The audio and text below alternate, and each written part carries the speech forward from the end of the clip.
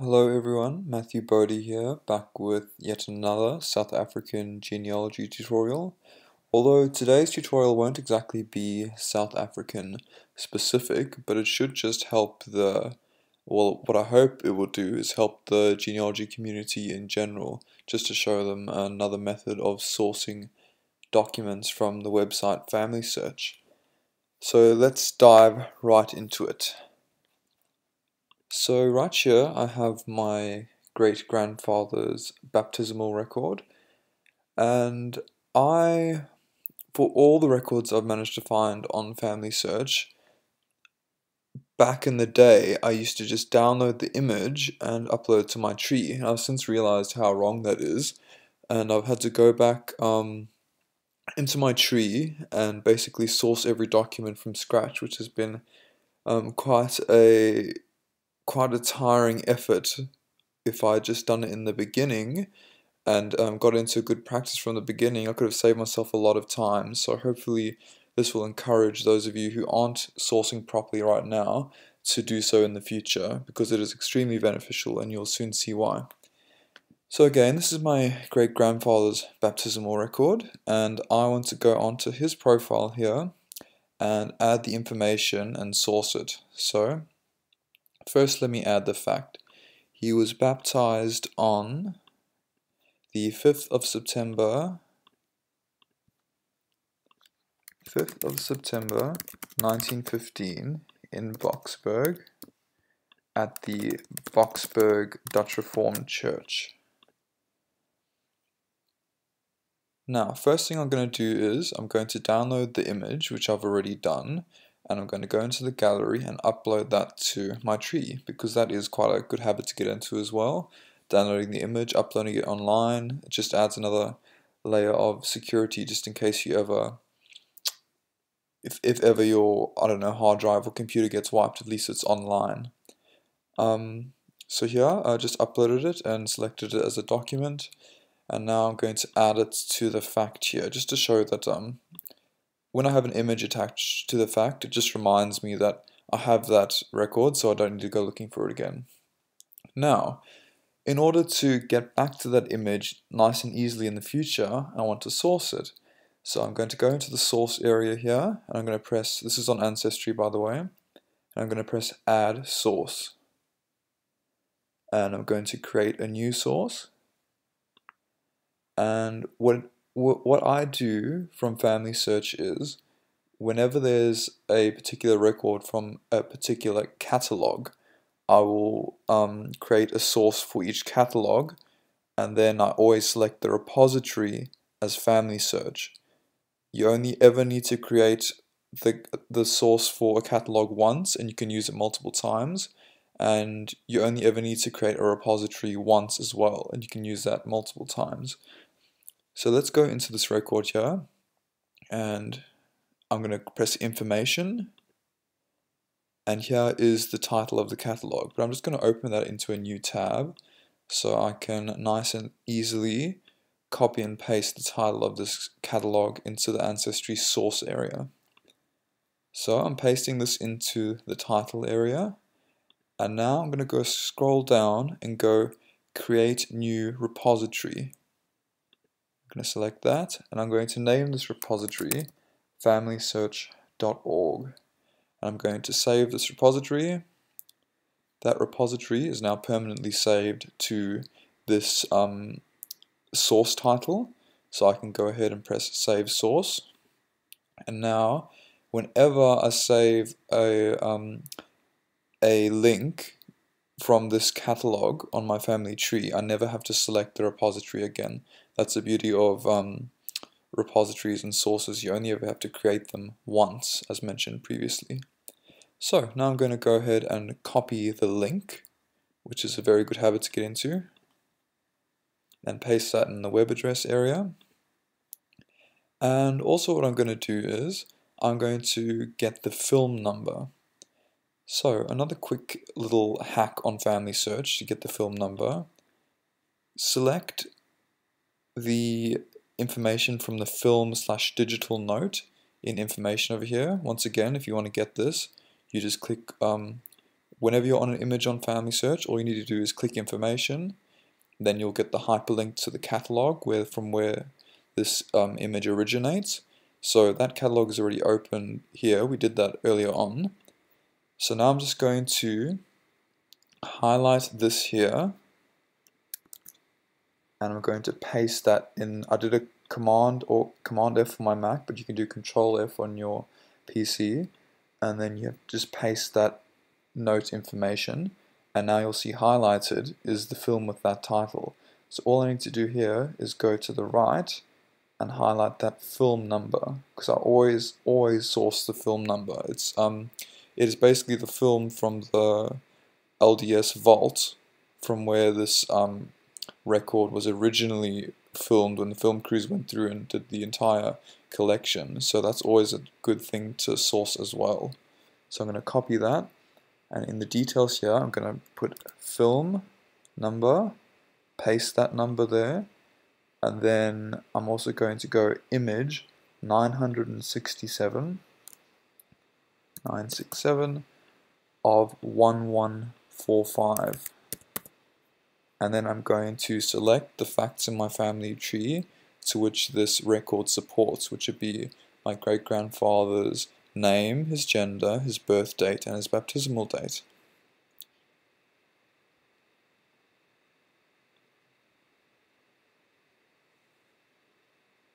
So there you go, I have the source nicely attached to my family tree, I have the image, I can go ahead and attach that image to the source in the media area.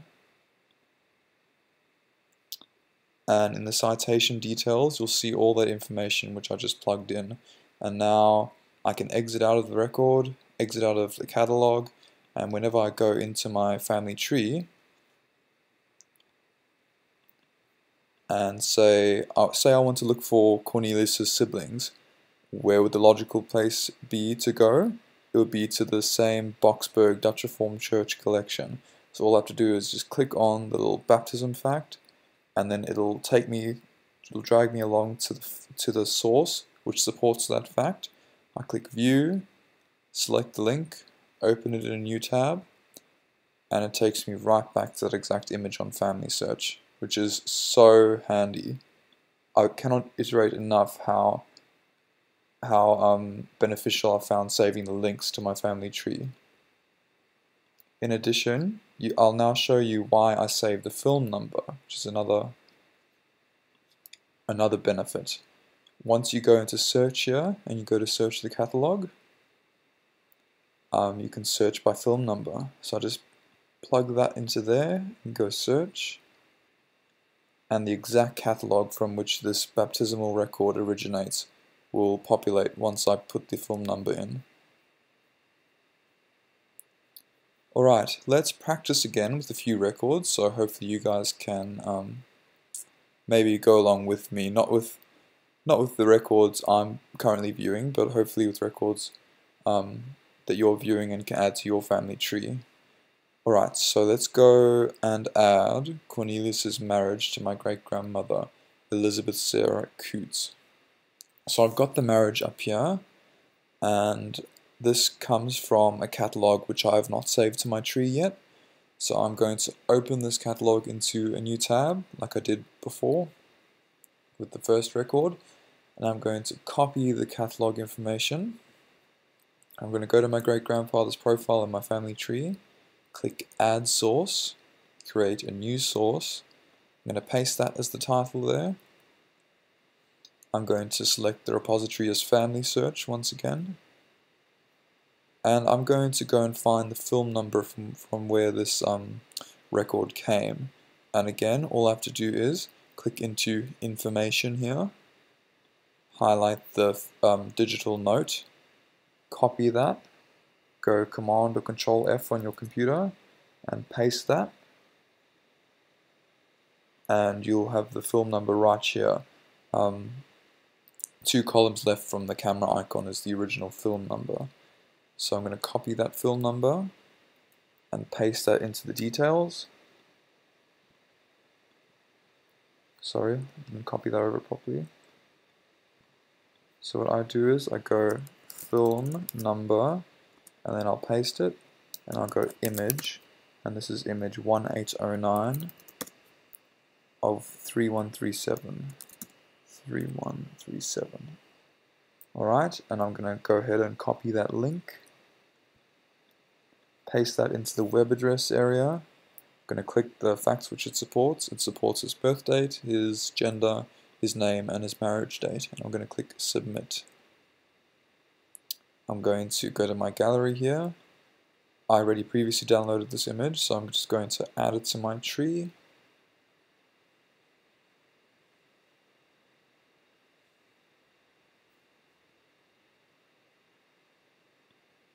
So document, press done, and I'm going to attach that image to the marriage fact as well as to the catalog from where that image came.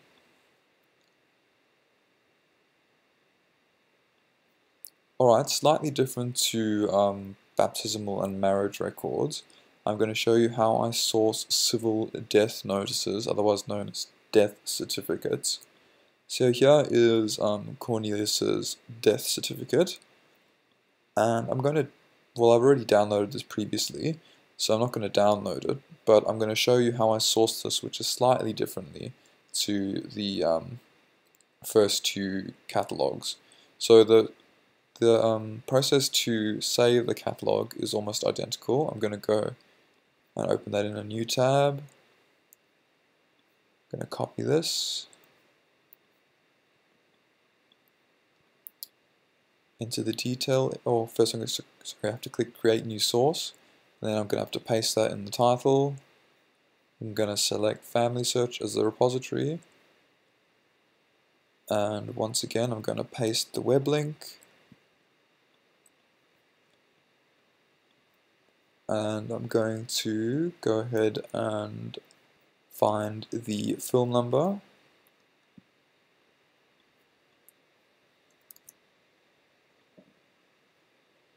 So I'm just going to copy that and paste it here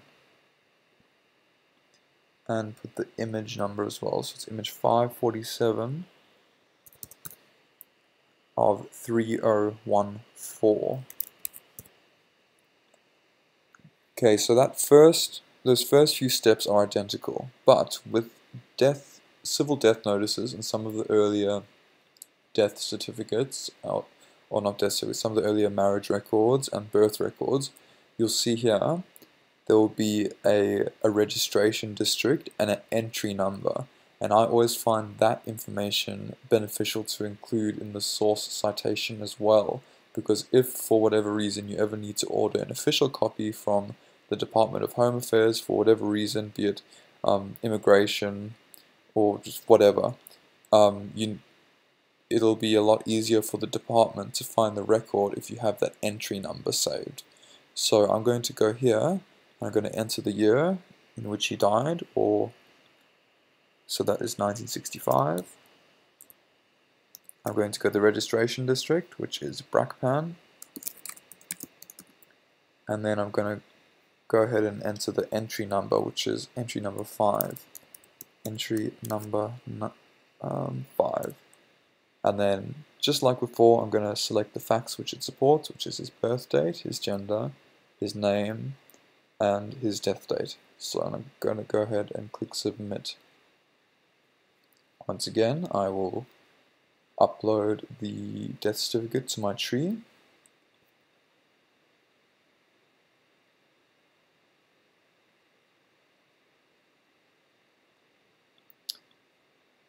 Done. I'm going to attach it to the death fact as well as to the source citation which supports that fact.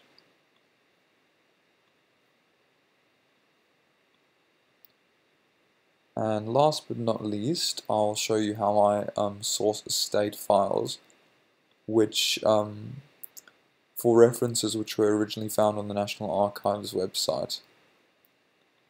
Right, so here is the here is the um, reference to my great grandfather's estate file. So I'm going to go ahead and I had that link up before but I just lost it so I'm going to cheat a little bit here.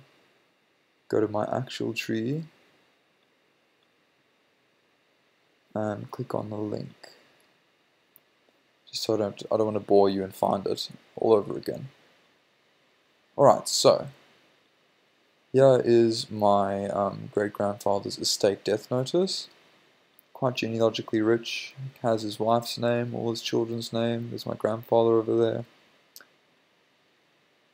And I'm going to source this on my family tree. So let's go ahead and go add source here.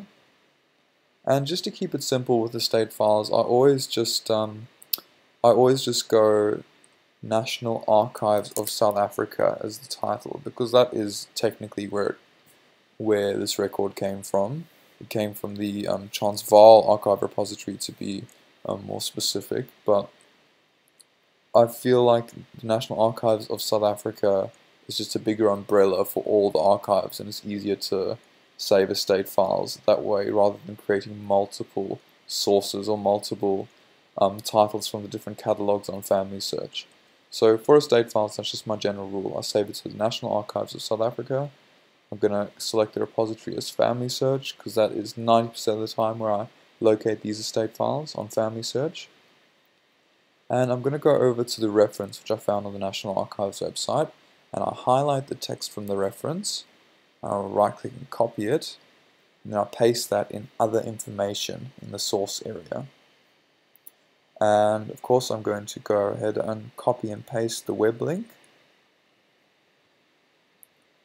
And then I'm going to go and track down this film number as well. So once again all you have to do to get the film number is click on information on whatever image you're on on family search anywhere in the website.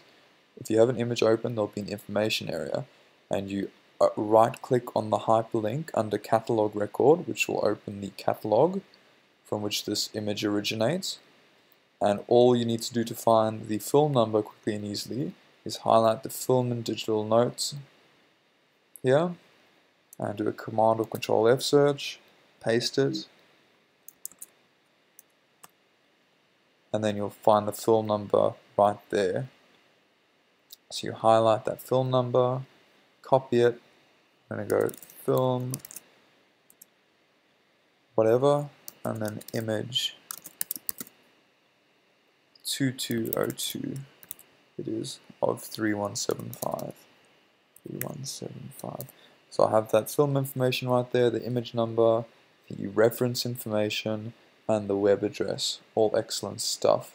And I'm going to go ahead and select the facts which this um, image supports which is his death date his birth date, his gender, his name, and where he got married. I'm going to click submit. I'm going to upload the record.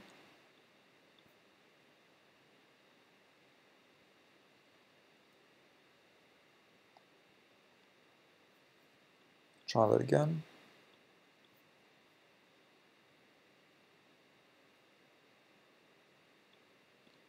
Second time lucky and save it.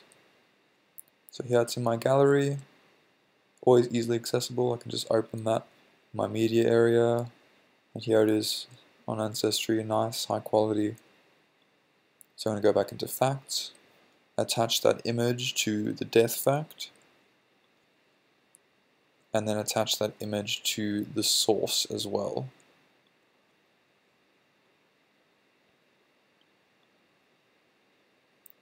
And if you ever want to see your source information, you just go to citation details here, and that'll show you um, what you've saved to that particular source.